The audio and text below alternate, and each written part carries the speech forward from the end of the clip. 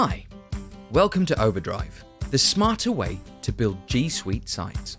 In the next 60 seconds, you'll see how to turn Google Drive content into professional looking web pages in a matter of minutes.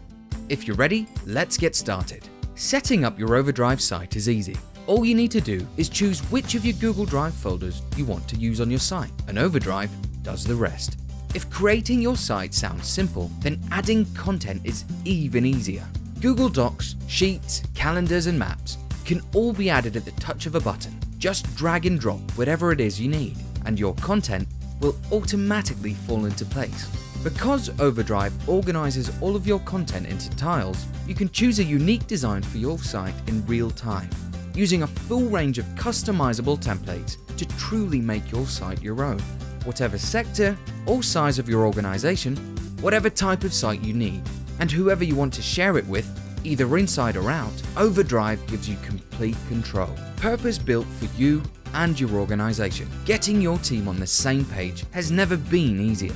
With Overdrive, building, setting up a company intranet, customer portal, or project workspace, or whatever else you need literally takes minutes.